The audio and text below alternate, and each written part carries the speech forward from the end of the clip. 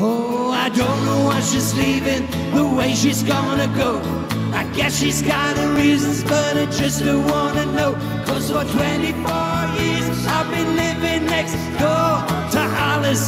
Alice, who the fuck is Alice? 24 years just waiting for a chance to tell her how I feel, maybe get a second glance. Now I gotta get used to not living next door to Alice.